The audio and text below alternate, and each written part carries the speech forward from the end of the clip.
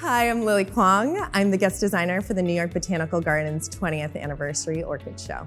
Like every orchid show at the New York Botanical Garden, of course, I know this piece will be overwhelmingly beautiful and a total feast for the eyes in the dead of winter with the incredible colors and textures and diversity of orchids that we'll be bringing to the exhibition in the space. But beyond that, this is probably the most autobiographical piece that I've ever done. The piece really draws on art objects that were important to my family and my Chinese roots I found a lot of grounding and empowerment from connecting with my own ancestry and the traditions and philosophies that have endured throughout generations. So I hope that in this country of immigrants. It inspires people to look at their own personal stories.